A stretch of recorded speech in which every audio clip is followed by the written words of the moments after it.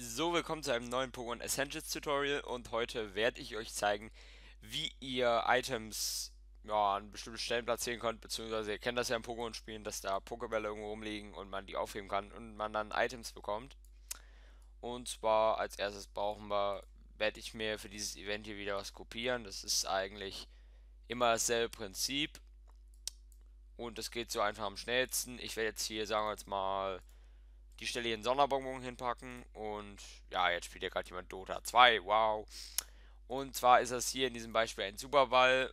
Ihr müsst einfach nur dieses Event hier öfters kopieren. Und wir können ja einfach aus dem Superball Rare Candy machen. Und dann gibt es dann Sonderbonbon.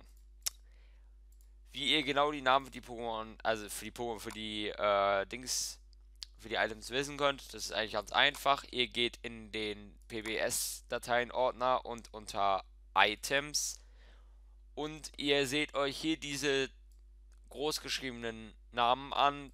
Wenn ihr zum Beispiel jetzt hier Dawnstone statt Rare Candy hinschreibt, findet ihr hier einen Funkelstein. Oder wenn ihr äh, Miracle Seed stattdessen statt Rare Candy dahin macht, findet ihr Wundersaat in einem Item. Das sind also die ganzen Namen, die praktisch, wenn, wenn die da drin stehen, erkennt das Spiel, dass genau dieses Item dann gefunden wird. Wenn man zum Beispiel Metal Code in der Script schreibt, findet man den Metallmantel und ja, das sagt praktisch im Spiel, okay, in dem Pokéball ist ein Metallmantel, also kriegt der Spieler einen Metallmantel.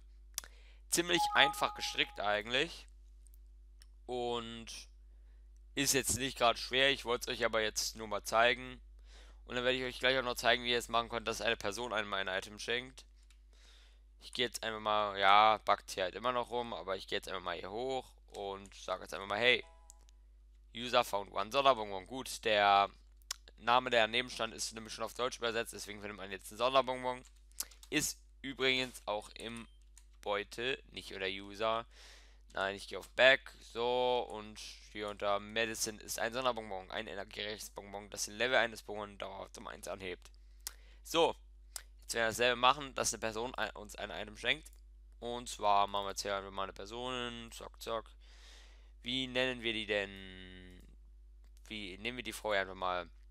Und sie sagt, sie sagt einfach mal, hier hast du ein Item. Ganz einfach gestrickt. Und was wir jetzt brauchen, ist eigentlich nur das Script Kernel, PB Item Ball, Items, Rare Candy kopieren. Das Ganze hier mit dem Conditional Branch ist eigentlich nur dafür da, dass sobald das Item aufgehoben wird, verschwindet der Itemball. Ganz einfach gestrickt, wenn ihr, in, wenn ihr ein verstecktes Item machen wollt. Wirklich ein Item, was man nicht sehen kann, müsst ihr einfach die Grafik des Itemballs hier wegnehmen und das Ganze klappt auch. Das heißt, wenn ihr das Item wirklich irgendwo verstecken wollt, ohne dass irgendein Itemball liegt. Ein ganz verstecktes, das man per Detektor finden kann. Gut. Wir in, machen jetzt mal Insert und ein Script rein und fügen hier Kernel PB Item Ball Items Rare Candy ein. Okay. Und dann machen wir hier noch kurz ein Control Self Switch A gleich on. Oder sie sagt einfach mal davor noch, was weiß ich. Ich hoffe, dass dir das Item etwas bringt. Ich hoffe, dass dir das Item etwas bringt. So, dann geht das Self-Switch A on. Dann machen wir eine neue Event-Page. Nehmen dieselbe Frau hier nochmal. Ich weiß jetzt gerade nicht, wie die aussah. Muss ich kurz mal suchen. Ja, ich glaube, das war die, oder? Ja. Dann machen wir hier Self-Switch A ist on. Das heißt, wenn der angeht und das Script und man sie nochmal anspricht, kommt das, was hier steht.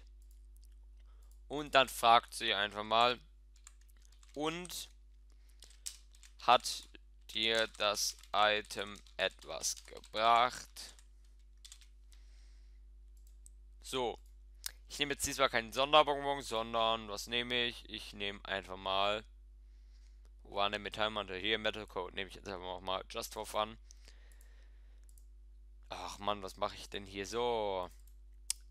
Edit den Metal Code hier rein. So, und jetzt gibt es uns einen Metallmantel. Ganz einfach gestrickt. So. Jetzt einfach mal hier hoch. So, so. Hier ist ein Item. User found one Metallmantel. Ja gut. Und hat dir das Item etwas gebracht? Ja, das war gerade ein bisschen blöd mit dem Found One Metallmantel, aber gut. Jo. Und was ich jetzt gleich noch einfügen will, ich weiß jetzt gerade das nicht mehr auswendig, wie das Ganze gemacht wird, aber wenn man den Metallmantel im Beutel hat, soll etwas Bestimmtes passieren. Das werde ich jetzt hier beim Typen hier machen nehmen wir den hier jetzt einfach mal. Ich werde jetzt ganz kurz pausieren und nochmal nachgucken, wie ich es in meinem eigenen Spiel gemacht habe, weil ich das jetzt gerade nicht mehr auswendig weiß, aber ich gucke jetzt kurz mal nach und wir sehen uns gleich wieder. So, wie er da. Wow, ich habe jetzt hier noch mein Spiel offen. Egal. Ähm, in meinem Spiel habe ich das Ganze anders geregelt gehabt. Ist mir gerade aufgefallen. Da habe ich das Ganze mit Switches gemacht, aber ich will es jetzt mal ohne Switches machen, sondern wenn man das Item wirklich hat, weil man kann es ja auch in dem Fall hier verbrauchen. Und zwar sagt er, äh, wenn du das Item Metallmantel hast, schenke ich dir ein Sichlor. Ausrufezeichen, einfach mal so. Und dann werden wir jetzt erstmal ein Skript einfügen. Ich hoffe wirklich, dass es klappt. Ich habe das Ganze nicht ausprobiert, aber werde jetzt einfach mal so machen, dass die Spielvariable 42 der Anzahl an, nicht an Potions, das habe ich jetzt gerade kopiert, an Metal Code hinzugefügt wird. Metal Code, so. Und ich werde jetzt einfach mal kurz die Variable, ich werde jetzt nicht aktivieren, aber jetzt gucken, Variable 42, jetzt einfach mal Metal Code nennen. Da brauche ich jetzt nicht groß Metal Code. Aber der Variable 42 wird das jetzt zugewiesen. So. Dann Conditional Branch. Haben wir denn? Variable 42 ist äh, greater than ist größer als 0. So, jetzt wenn das wenn man mehr als einen Metallmantel hat, dann will ich es jetzt äh, dann gibt er einem praktisch ein Sichlor. So, wie war das gleich nochmal mit dem ich muss das Pokémon-Skript, das muss ich mir immer mal wieder raussuchen. Das ist, ich merke mir das nie, aber im Endeffekt ist das auch nicht wichtig, dass man sich das merkt, weil man kann sich, wie gesagt, immer überall rauskopieren und ja. So, pb at Pokémon, copy. So, ähm, hm. Ich weiß jetzt nicht, wie Sichlo auf Englisch heißt gerade. Kurz mal gucken. Ah, 120 oder 130 war es irgendwie. Ich weiß es jetzt gerade nicht. Mr. Mime Sither. Okay. Kopieren einfach. Er gibt uns also dann ein Sichlor Level 5. Als Sorry, aber du hast keinen Metallmantel. Sorry, aber du hast keinen Metallmantel.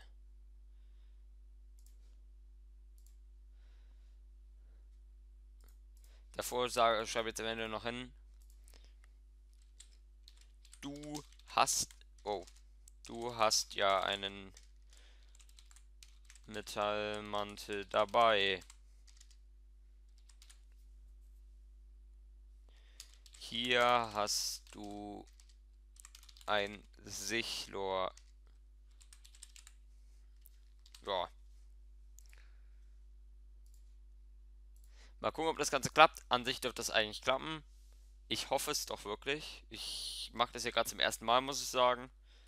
Aber man probiert ja gern mal immer neue Sachen aus. Eigentlich dürfte das Ganze klappen. Ich springe jetzt mal an. Das ist eine Metallmandat, schenke ich dir in sich Lore. Okay.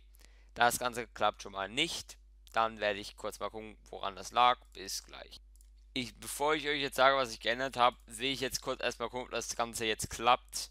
Aber ich bin mir nicht so sicher, ob das Ganze jetzt klappt. Ich hoffe es doch. Einfach gucken. Nee, warte mal.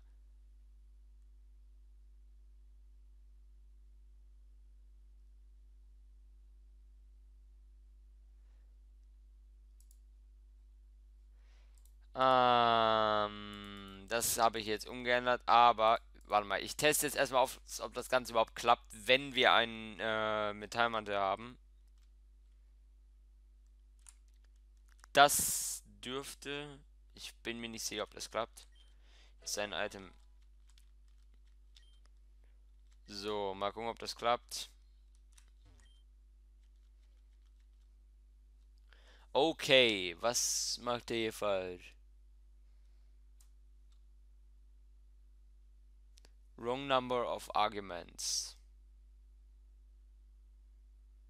Hm.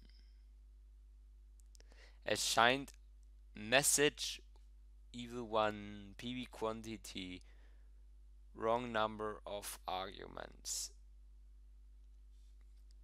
Okay.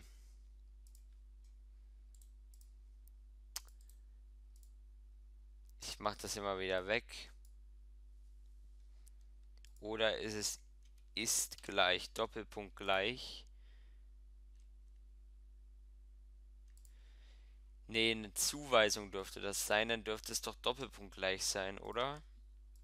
Ich guck mal, ob das Ganze klappt.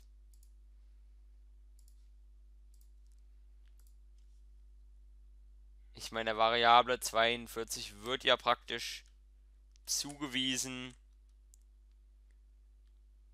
welches Item man hat.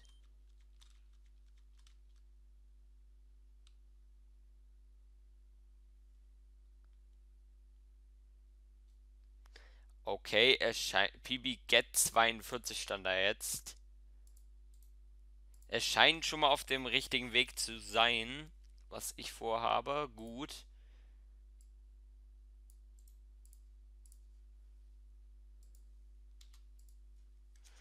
Gut, und wenn ich jetzt hier Metal Code, so wie das Ganze heißt, vielleicht PB Quantity Metal Code, dann hier auch nochmal Doppelpunkt gleich mache. Eben hatte ich da, glaube ich, irgendwo einen Fehler drin. Dann dürfte das Ganze auch klappen, oder nicht? Oder war das eben der Fehler, dass ich da an einer Stelle Potion noch stehen hatte?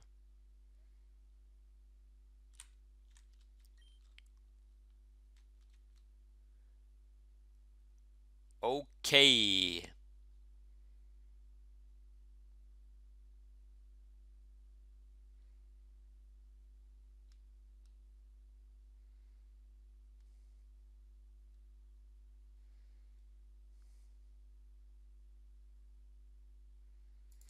Aha.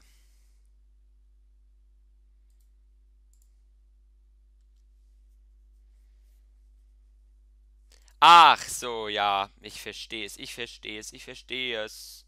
Klammer auf, immer zu Zeilenbeginn, jawohl. Jawohl. Das Script war einfach viel zu lang. Und das war wahrscheinlich der Fehler. Das Problem hatte ich schon mal. Die Klammer auf muss immer in die vorherige Zeile. Jawohl. Okay.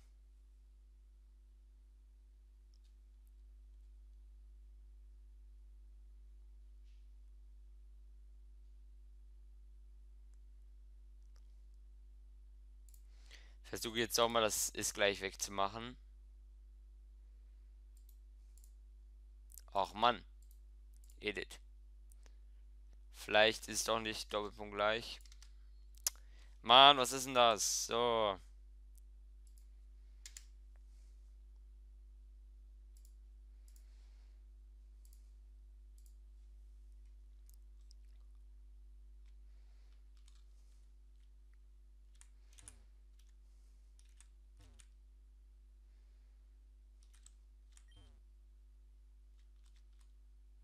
Was steht hier jetzt?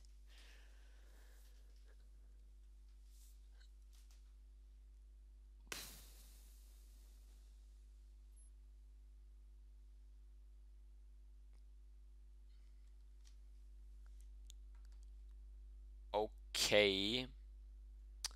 Ich weiß jetzt nicht, was ich genau falsch mache, aber...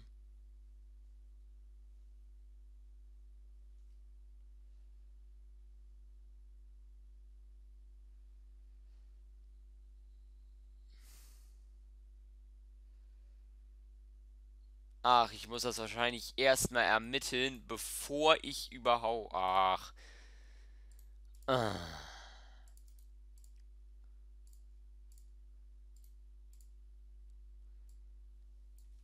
Aber eigentlich dürfte das doch auch möglich sein, das Ganze zu machen, wenn ich das dann erst ermitt, wenn ich, bevor ich das, eigentlich dürfte das doch dabei schon ermittelt werden.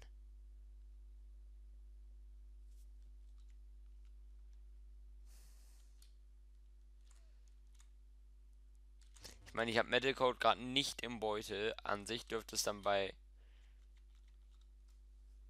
Hm. Warte mal, habe ich hier... Conditional Branch.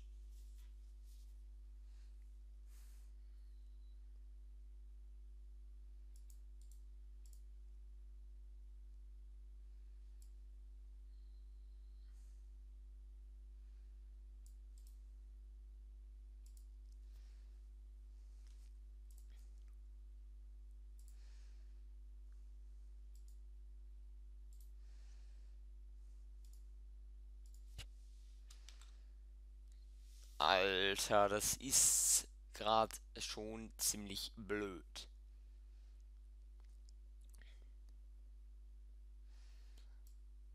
Was ist, wenn ich das jetzt wirklich wegmache?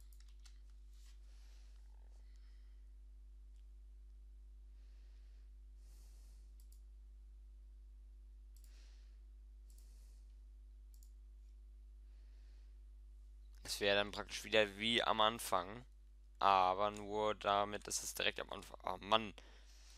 Wenn nicht, mache ich das Ganze einfach mit Switches, wobei es halt blöd ist. Okay. Er redet hier gerade irgendwas von einem Array, aber... Warte mal. Das soll doch eigentlich Variable 42 daneben.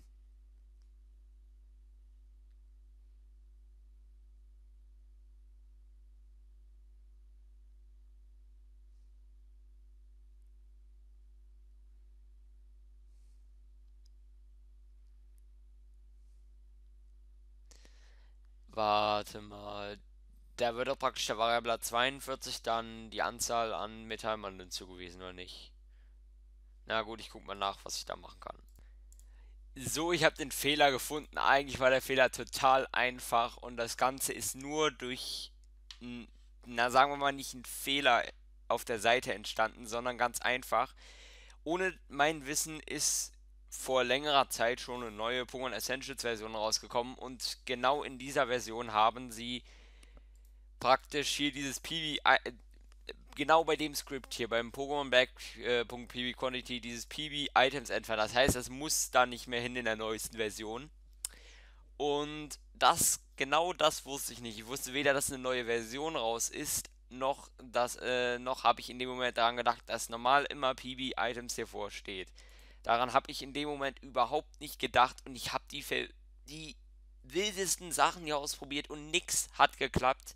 Und jetzt habe ich zufällig halt gesehen, dass Pokémon Essentials 14 draußen ist und habe mir die Neuerungen durchgelesen und habe dann genau gesehen, dass bei diesem Script hier Pokémon Bank.pb Quantity das PB Items nicht mehr nötig ist. Also habe ich jetzt das Script, wie ich es anfangs hatte, nochmal hingemacht und das PB Items hingemacht und jetzt scheint es auch zu funktionieren. Das war gerade so ein Wirrwarr. Ich hatte gerade keine Ahnung mehr, was ich versuchen sollte. Und dann ist das mir da zufällig aufgefallen. Und ja, das Ganze klappt jetzt einfach so. Wenn das eine Metall dann schenke ich dir ein Sichlo. Sorry, aber du hast keinen Metallmantel. Gut, hier ist dein Item. Ja, jetzt können wir mit Metallmantel und Wenn du das eine Metallmantel hast, schenke ich dir ein Sichlor. Du hast ja ein Metallmantel dabei. Hier ist ein Sichlor. Nee, ich gebe ihm keinen Spitznamen. So. Jetzt geben wir ihm aber das Item nicht weg, ist ja das. Das heißt, wir würden unendlich Sichtlos kriegen. Wir könnten sie jetzt noch so machen, dass man ein Item weggibt. Das ist eigentlich auch ganz einfach. Ihr nehmt ja einfach das PB Back. PB Delete Item. Sonst würden wir unendlich Sichtlos kriegen. Ja. Im Endeffekt würden wir das und das wollen wir nicht. Deswegen deleten wir einfach den Metal Code danach und dann dürfte das Ganze nicht mehr gehen. Oder wir machen, das würde mir sogar besser gefallen, weil den Metal Code bräuchten wir ja theoretisch noch zum Weiterentwickeln. Wir fügen hier einen Switch ein und nee, einen Self-Switch. Self-Switch, A ist on. Und wenn er an ist, sagt einfach, du hast schon ein Sichtlo, du brauchst keins mehr. Du brauchst keins mehr. So, mehr sagt er dann nicht. Da muss ich ja die Grafik noch kopieren ganz kurz. Und ich denke mal, fürs nächste Mal überlege ich mir erstmal auf Pokémon Essentials 14 zu updaten. Mein eigenes Spiel müsste ich eh noch updaten. Sofern aktuell habe ich an sich gar keinen Bock irgendwie kriegt, beziehungsweise auch gar keine Zeit richtig weiterzumachen an meinem eigenen Spiel. Ich muss da so viel machen, aber im Endeffekt habe ich null Zeit dafür, ist das Problem.